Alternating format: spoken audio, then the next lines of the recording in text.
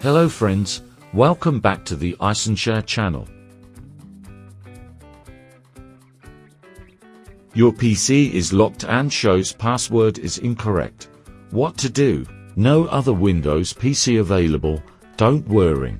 The software we use today can help to create a Windows password reset disk on Mac. Open a browser on your Mac and go to isunshare.com. After that, find Windows Password Genius Mac version and download the software.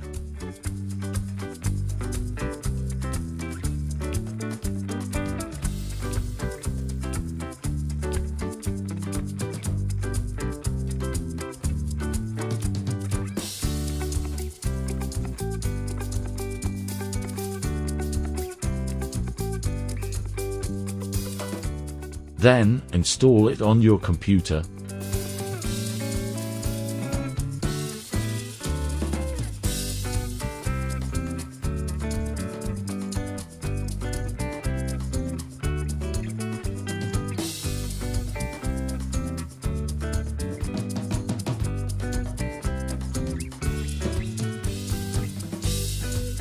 Run this Windows password recovery tool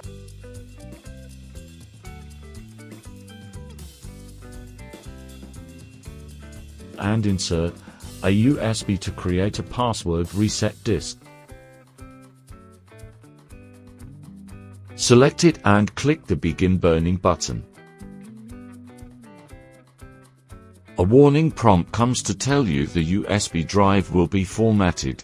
Click Yes to proceed. OK, the disk is burned successfully. You can disconnect the USB drive from Mac.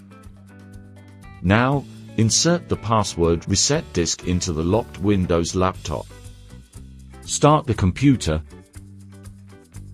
Then press F12 to enter boot options.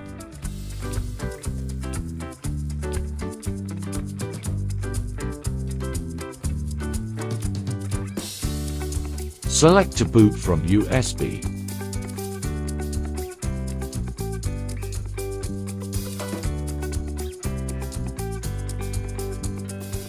Select your operating system.